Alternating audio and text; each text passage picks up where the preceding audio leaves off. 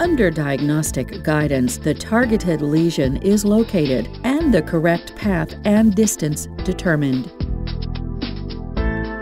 The easy to adjust depth stopper on the introducer is set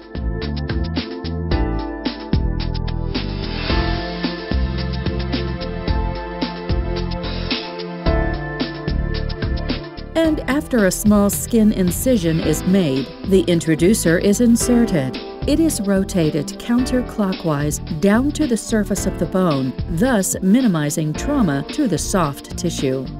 At the bone surface, the introducer is now advanced with a back and forth motion until the tip of the cannula is anchored in the periosteum.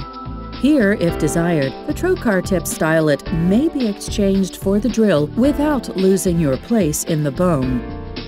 To switch to the drill, the handle of the introducer is unlocked by holding the base half, unsnapping the top segment, and withdrawing the trocar tip stylet. The drill is now inserted into the cannula. After aligning the triangular impressions on the handles, the drill is locked into place. With firm but not excessive pressure, the assembled drill introducer is advanced clockwise through the cortex. While the drill tip bores into the bone, the edges of the cannula simultaneously cut around the drill, directing bone debris into the grooves of the drill and through the cannula. The unique technology of these two elements working in conjunction allows the introducer to penetrate and travel through the cortex with tactile control.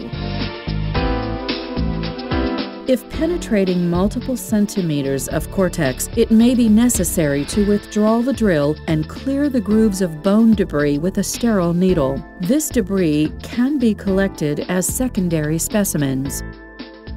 The tip of the cannula is delivered past the cortex to the lesion margin. The position is verified under imaging and the drill removed.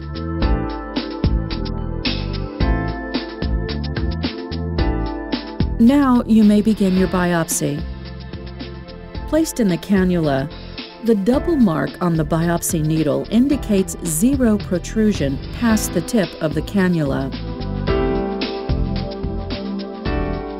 The adjustable stopper is set to the desired depth.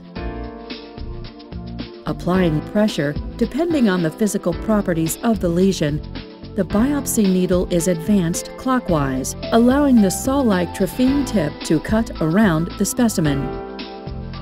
The sharp, durable trephine teeth of the biopsy needle core both sclerotic and lytic lesions.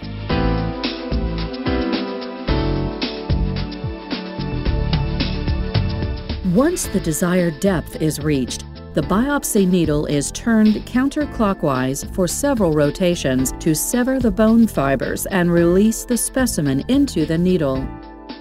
The biopsy needle is then withdrawn and the handle unlocked.